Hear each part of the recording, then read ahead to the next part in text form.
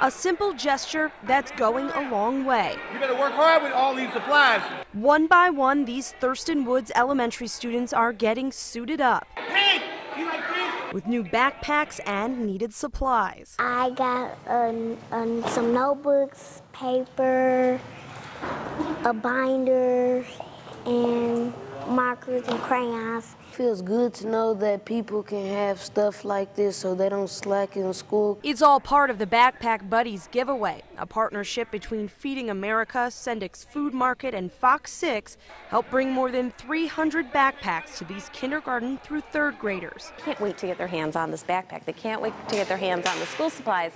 And that's just something you can't really explain. The kids got to choose their favorite colors, each bag filled with paper, crayons, binders, and rulers. Our goal here is to ensure that these kids have a good experience and become successful adults with a successful job when they grow up. Success that starts in the classroom. It's a wonderful thing when we come together as a team to do something great in our community. And today we did something great. And it showed on all the kids' faces. Most people in the world don't have anything like this or have an opportunity to get something. Milwaukee Public Schools will deliver 200 other backpacks to students in need throughout the district. In Milwaukee, Ashley Sears, Fox 6 News.